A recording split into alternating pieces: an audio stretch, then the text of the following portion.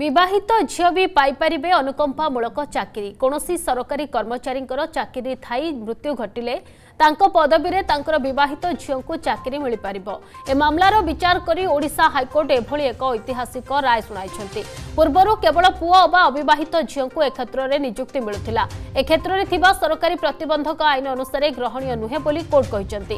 ବିବାହିତ ଝିଅଙ୍କୁ ନିଯୁକ୍ତି ନ ଦିଆଯିବା ଏକ ମନମୁଖୀ ନିଷ୍ପତ୍ତି। ଏହା ସମ୍ବିଧାନର ଧାରା ଚଉଦ ପନ୍ଦର ଓ ଷୋହଳ ଦୁଇର ଉଲ୍ଲଂଘନ କରୁଛି ବୋଲି ହାଇକୋର୍ଟ କହିବା ସହ ଏଭଳି ସରକାରୀ ନୀତିକୁ ରଦ୍ଦ କରିଛନ୍ତି। ଏହାସହ ଏ କ୍ଷେତ୍ରରେ ବିବାହିତ ମହିଳାଙ୍କୁ ଅନୁକମ୍ପାମୂଳକ ନିଯୁକ୍ତି ପ୍ରଦାନ ପାଇଁ ପଦକ୍ଷେପ ଗ୍ରହଣ କରିବାକୁ ହାଇକୋର୍ଟ ସରକାରଙ୍କୁ ନିର୍ଦ୍ଦେଶ ଦେଇଛନ୍ତି ଡକ୍ଟର ଜଷ୍ଟିସ ସଞ୍ଜୀବ କୁମାର ପାଣିଗ୍ରାହୀଙ୍କୁ ନେଇ ଗଠିତ ଖଣ୍ଡପୀଠ ଏଭଳି ରାୟ ଶୁଣାଇଛନ୍ତି। ସୂଚନା ଅନୁଯାୟୀ ପ୍ରାଥମିକ ସ୍କୁଲର ଶିକ୍ଷକ ଥିବା ବାପାଙ୍କର ମୃତ୍ୟୁ ପରେ ଯୋଗ୍ୟ ବିବେଚିତ ଥିବା ବିବାହିତ ଝିଅମାନଙ୍କୁ ସରକାରୀ ନୀତି ଅନୁସାରେ ଚାକିରି ଦେବାକୁ ସରକାର ମନା କରିଥିଲେ। ଏହାକୁ ବିରୋଧ କରି ଶିକ୍ଷକ ବିବାହିତ ଝିଅ ବାସନ୍ତୀ ନାୟକ ହାଇକୋର୍ଟରେ ପିଟିସନ ଦାଖଲ କରିଥିଲେ।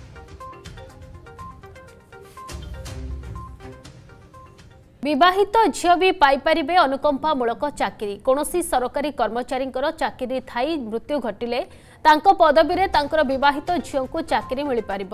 ଏ ମାମଲାର ବିଚାର କରି ଓଡ଼ିଶା ହାଇକୋର୍ଟ ଏଭଳି ଏକ ଐତିହାସିକ ରାୟ ଶୁଣାଇଛନ୍ତି। ପୂର୍ବରୁ କେବଳ ପୁଅ ବା ଅବିବାହିତ ଝିଅଙ୍କୁ ଏ କ୍ଷେତ୍ରରେ ନିଯୁକ୍ତି ମିଳୁଥିଲା। ଏ କ୍ଷେତ୍ରରେ ଥିବା ସରକାରୀ ପ୍ରତିବନ୍ଧକ ଆଇନ ଅନୁସାରେ ଗ୍ରହଣୀୟ ନୁହେଁ ବୋଲି କୋର୍ଟ କହିଛନ୍ତି। ବିବାହିତ ଝିଅଙ୍କୁ ନିଯୁକ୍ତି ନ ଦିଆଯିବା ଏକ ମନମୁଖୀ ନିଷ୍ପତ୍ତି। ଏହା ସମ୍ବିଧାନର ଧାରା ଚଉଦ ପନ୍ଦର ଓ ଷୋହଳ ଦୁଇର ଉଲ୍ଲଂଘନ କରୁଛି ବୋଲି ହାଇକୋର୍ଟ କହିବା ସହ ଏଭଳି ସରକାରୀ ନୀତିକୁ ରଦ୍ଦ କରିଛନ୍ତି। ଏହାସହ ଏ କ୍ଷେତ୍ରରେ ବିବାହିତ ମହିଳାଙ୍କୁ ଅନୁକମ୍ପାମୂଳକ ନିଯୁକ୍ତି ପ୍ରଦାନ ପାଇଁ ପଦକ୍ଷେପ ଗ୍ରହଣ କରିବାକୁ ହାଇକୋର୍ଟ ସରକାରଙ୍କୁ ନିର୍ଦ୍ଦେଶ ଦେଇଛନ୍ତି ଡକ୍ଟର ଜଷ୍ଟିସ ସଞ୍ଜୀବ କୁମାର ପାଣିଗ୍ରାହୀଙ୍କୁ ନେଇ ଗଠିତ ଖଣ୍ଡପୀଠ ଏଭଳି ରାୟ ଶୁଣାଇଛନ୍ତି। ସୂଚନା ଅନୁଯାୟୀ ପ୍ରାଥମିକ ସ୍କୁଲର ଶିକ୍ଷକ ଥିବା ବାପାଙ୍କର ମୃତ୍ୟୁ ପରେ ଯୋଗ୍ୟ ବିବେଚିତ ଥିବା ବିବାହିତ ଝିଅମାନଙ୍କୁ ସରକାରୀ ନୀତି ଅନୁସାରେ ଚାକିରି ଦେବାକୁ ସରକାର ମନା କରିଥିଲେ। ଏହାକୁ ବିରୋଧ କରି ଶିକ୍ଷକ ବିବାହିତ ଝିଅ ବାସନ୍ତୀ ନାୟକ ହାଇକୋର୍ଟରେ ପିଟିସନ ଦାଖଲ କରିଥିଲେ।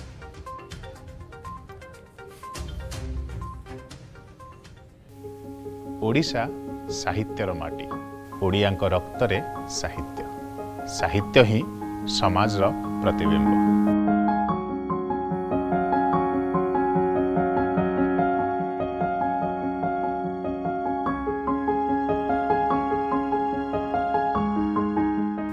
ଗଳ୍ପ କବିତା ପ୍ରବନ୍ଧ ରମ୍ୟ ରଚନା ଓ ଅନୁବାଦ ସାହିତ୍ୟର ଏମିତି ଅନେକ କୃତିକୁ ନେଇ ଆମର ଏ ବିଶେଷ କାର୍ଯ୍ୟକ୍ରମ କଥା ସାହିତ୍ୟର